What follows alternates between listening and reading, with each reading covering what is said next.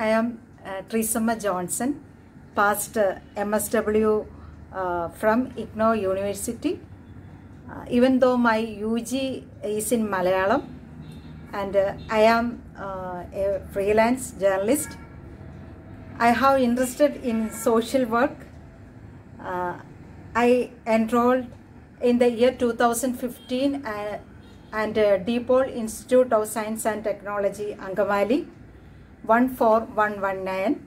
With gratitude, uh, I acknowledge the help received from the uh, coordinators and uh, study center staff, academic counselors, uh, especially uh, Sherin madam.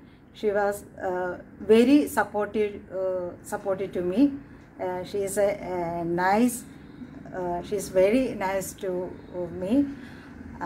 Then uh, the study material of IGNOU is very good, uh, very good and uh, good contented, and I was very much interested in the way things are explained.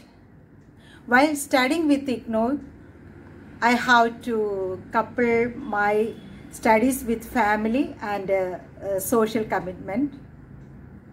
My family was very supportive.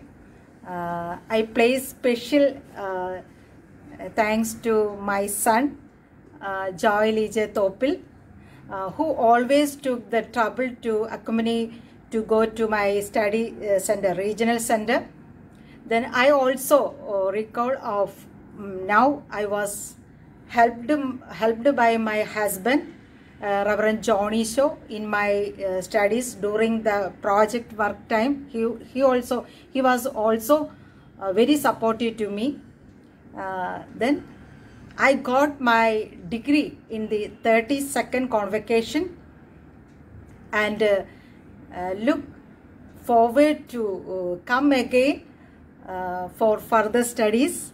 Thank you.